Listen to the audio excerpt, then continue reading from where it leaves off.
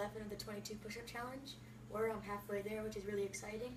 So um, I'm doing my push-ups on my boat.